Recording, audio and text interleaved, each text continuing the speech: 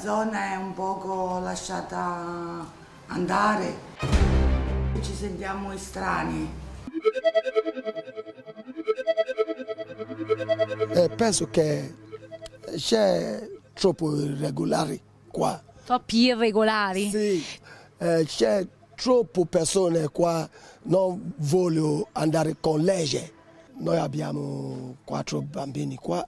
Eh, noi adesso penso che i bambini se crescere così eh, in vicino loro non vai con legge.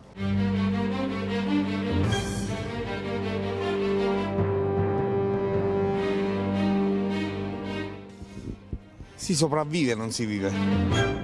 Questo è un posto molto abbandonato, è zona di spaccio, zona di prostituzione. Ho assistito a violenze proprio in questo incrocio.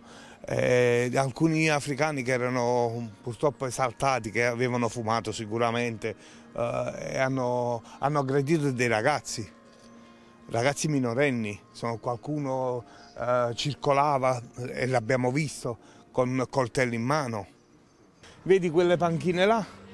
Sono piene di, di extracomunitari per aspettare il cliente che viene per, per, acquistare droga. Alle spalle di questa abitazione la polizia municipale venne per un controllo, entrarono dentro e trovarono addirittura 700 grammi di eroina.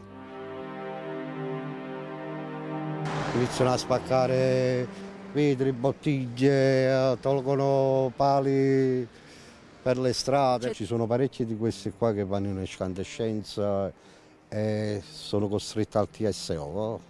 Al trattamento sanitario obbligatorio. Quanti ne fate più o meno al mese qua? Ma adesso anche una quindicina al mese. Questa è una delle tante case qui abbandonate che sono state occupate negli anni. Qui ci sono i materassi, qui c'è il totale degrado, abbandono. Ci sono infatti, mm, c'è un odore abbiamo trovato un ragazzo che, eh, che poi abbiamo chiamato il 118 che l'hanno trasportato in ospedale, stava in overdose questo. Addirittura abbiamo trovato un ragazzo che era morto da tre mesi in stato di decomposizione.